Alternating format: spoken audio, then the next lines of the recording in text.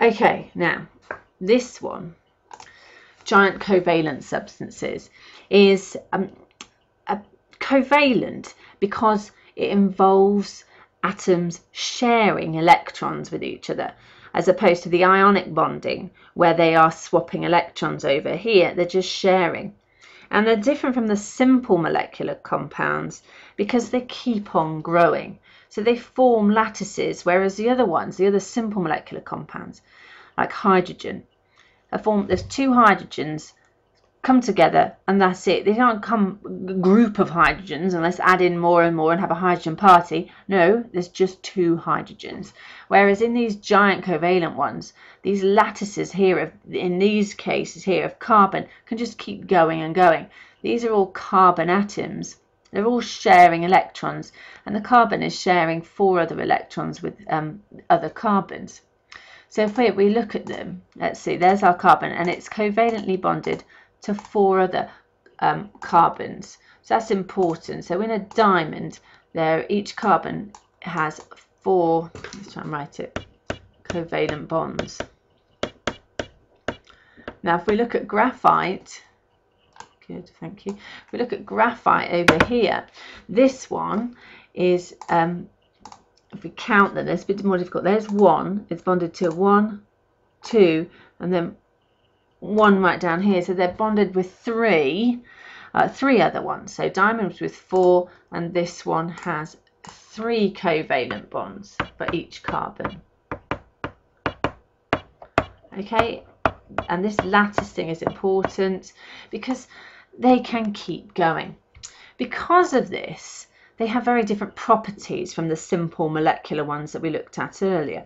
The simple molecular ones, if you remember, um, have a very low melting point. That's because they they're quite happy in their molecules. Like one hydrogen loves the other hydrogen, but they don't really like the other two hydrogens next door. So they'll they don't need much energy to move away from each other.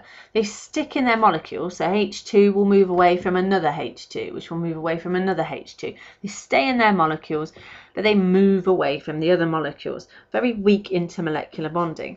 Whereas here, if you if you think of the two hydrogens together, they've got very strong forces of attraction. And this is the same here. These carbons have very strong forces of attraction. And there's not another molecule over here that it doesn't like. They're just all together. So they have very high uh, melting and boiling points because of the covalent bonding. So high uh, melting and boiling point due to that covalent bonding because that covalent, that sharing of electrons is very, very strong. Three covalent bonds, four covalent bonds. So that's odd for a covalently bonded thing. This one is even more odd. Now graphite as you find in pencils, it's in layers. and here's a layer, another layer and another layer. And as you write, one of the layers comes up on your paper.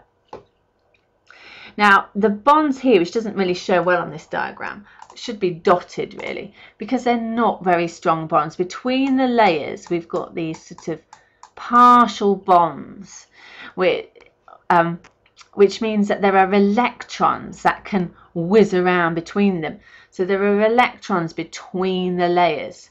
Now these ones, if you didn't know, are called delocalized electrons. This is higher tier for this bit. So delocalized electrons, that means electrons that are whizzing electrons would be good, whizzing around between the layers, only in this one, so here between the layers means that it can conduct electricity because a flow of electrons means that uh, electricity is flowing. So there's no electrons in this one. So this one doesn't conduct electricity. This one does. Both of them have high melting and boiling points. Now, especially with the higher T, you've got this other one as well, silicon dioxide. Um, Again, I've put this in here to just, just try and get your head in gear that they love each other. So the amount of energy needed to split up these is huge. So it has a high, again, the same thing, melting and boiling point. So it's the same as diamond, really, but silicon dioxide you come across as well. Um, covalently bonded, you've got uh, really, really strong bonds and you can't get them apart.